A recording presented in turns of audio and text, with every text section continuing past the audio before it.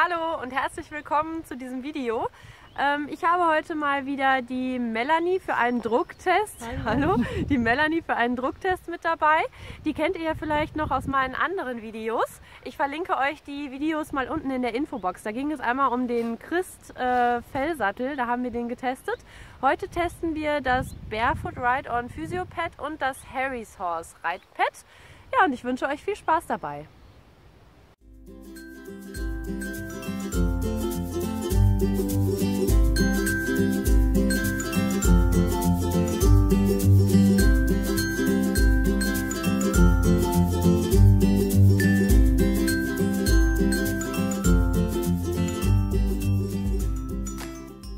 Einmal beide Pads im Vergleich. Auf der linken Seite das Barefoot Ride-On Physio Pad, momentan für einen Preis von ca. 200 Euro zu bekommen. Und das Harry's Horse Pad auf der rechten Seite, momentan für einen Preis von ca. 80 Euro zu bekommen, je nachdem, wo ihr gerade bestellt. Testen tun wir auch heute wieder mit dem Impression Pad. Ich verlinke euch die Internetseite vom Impression Pad auch mal unten in der Infobox. Ähm, da bekommt ihr alle weiteren Informationen dazu. Wir starten hier mit dem Harry's Horse Pad. So schaut es aus. Jetzt zeige ich euch nochmal die Unterseite. Das ist so ein Waffelneopren. Wenn ihr mehr Details äh, erfahren wollt und sehen wollt, ähm, schaut euch auf jeden Fall meinen Erfahrungsbericht zum Harry's Horse Pad an. Das verlinke ich euch unten in der Infobox. Hier satteln wir einmal im Schnelldurchlauf.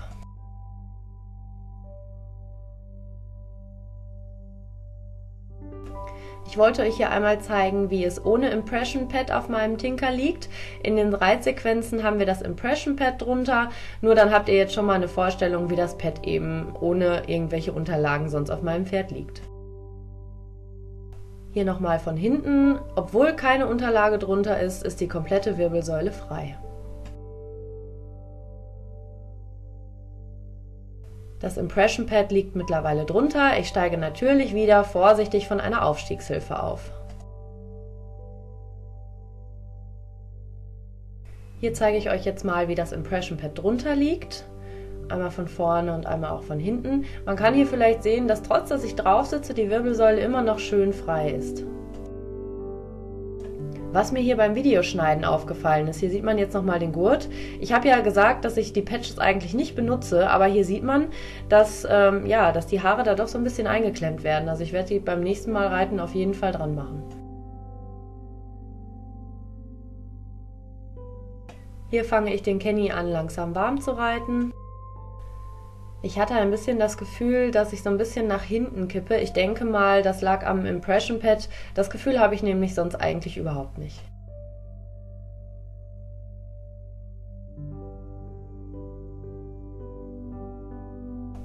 Ich habe das Pad natürlich in allen drei Gangarten getestet, ähm, damit das Druckergebnis auch eben gut aussagekräftig ist. Also ich bin gut eine Dreiviertelstunde damit geritten.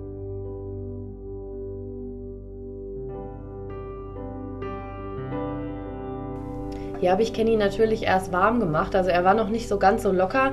Das sieht nachher beim Barefoot Pad natürlich ein bisschen anders aus. Klar, da ist er natürlich auch schon eine Dreiviertelstunde gelaufen. Also man sollte jetzt nicht darauf achten, wie das Pferd läuft. Es geht wirklich nur um den Drucktest. auch hier im Galopp. Hier war mein Sitzgefühl auch echt ein bisschen merkwürdig, aber das muss wirklich am Impression Pad gelegen haben. Also ich bin nämlich den Tag danach nochmal geritten und ähm, ja, da war es eigentlich wie immer. So, jetzt sattel ich hier mal ab. Ähm, es kamen mal die Fragen bei meinem Fellsattel-Video, wie ich denn abgestiegen bin. Ja, natürlich bin ich ganz vorsichtig abgestiegen. Ich habe das jetzt extra nicht hier ins Video geschnitten, weil das Video sonst einfach zu lang geworden wäre. So, der magische Moment. Ich nehme das Pad hier ab. Wir schauen aufs Impression Pad und wir sehen keine Druckstellen. Wirklich ein super Ergebnis. Hier halte ich das Pad jetzt mal gegen die Sonne. Man sieht hier ja, wo ich gesessen habe, aber es sind definitiv keine Druckspitzen, keine Druckstellen. Also wirklich ein gutes Ergebnis. Ich blende hier euch nochmal zum Vergleich ähm, das Druckergebnis vom Christfell-Sattel ein. Hier sieht man ganz klar die extremen Druckspitzen, die da entstanden sind. Also so sollte es auf keinen Fall aussehen. So, hier das Barefoot Ride-On Physio Pad. Einmal auch von unten, auch da nochmal. Ich habe ein separates Video dazu gemacht. Das verlinke ich euch unten in der Infobox. Da seht ihr Detailaufnahmen und auch alle weiteren Infos dazu. Auch hier mal eine Nahaufnahme, wie es ohne Impression Pad auf Kenny liegt. Auch hier ist die Wirbelsäule wirklich schön frei. Ich habe jetzt noch ein separates kleines Pad darunter, das ja zu dem Physio Pad dazugehört. Und hier auch noch einmal von hinten.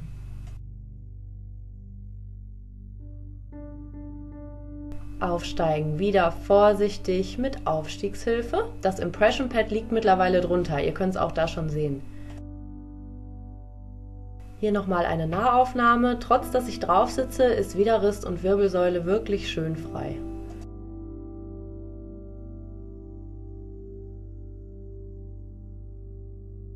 Hier auch nochmal eine Nahaufnahme in der Bewegung. Also der Sitz war wirklich, wirklich gut. Ich habe mich da auch sehr sicher drauf gefühlt.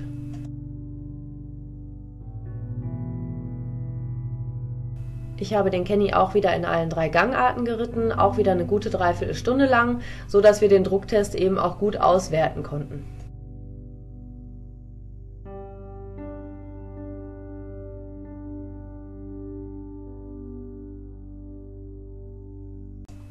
Er ist hier natürlich jetzt auch deutlich lockerer.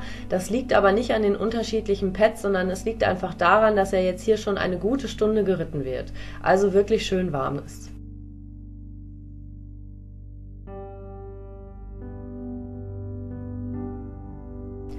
Vom Sitzgefühl her fühlte ich mich auf dem Barefoot Ride-On Pad ein bisschen wohler.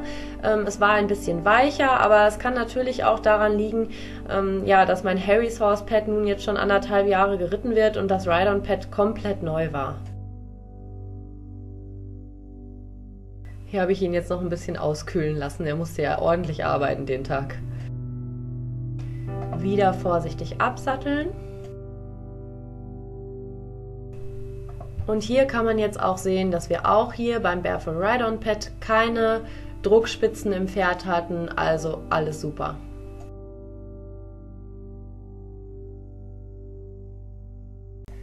Hier auch nochmal das Impression Pad gegen die Sonne gehalten. Wie man sieht, sieht man kaum was. Also auch hier, wie gesagt, das super Druckergebnis. Ähm, was auf jeden Fall auch nochmal zu sagen ist, ich habe das Harry's Horse Pad ohne separate Unterlage getestet. Das heißt für mich im Ergebnis, dass beide äh, Drucktests, ob jetzt Physio-Variante oder einfache Variante, sehr, sehr gut waren. So, das war unser heutiger Test. Also ich bin ganz zufrieden.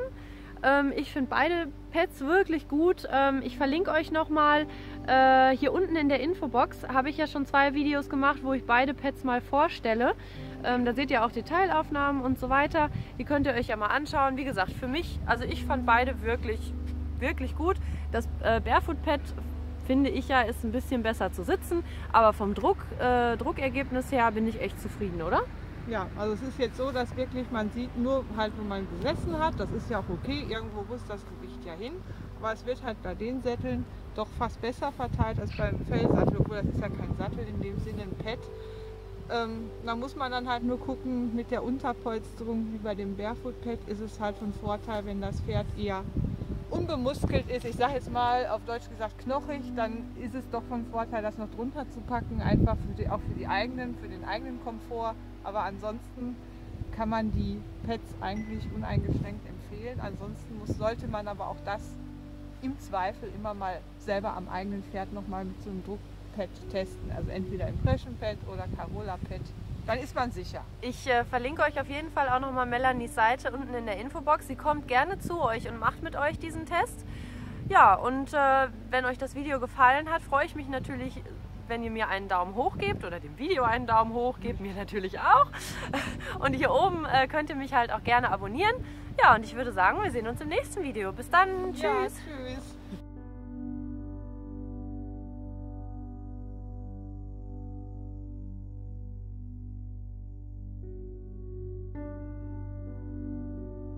Hier könnt ihr jetzt einfach auf die einzelnen Bilder klicken, entweder zum Barefoot-Testvideo oder zum Harry's Horse-Testvideo oder abonniert doch einfach meinen Kanal, um keine weiteren Videos zu verpassen, folgt mir auf Facebook oder schaut einfach mal auf meinem Kanal direkt vorbei.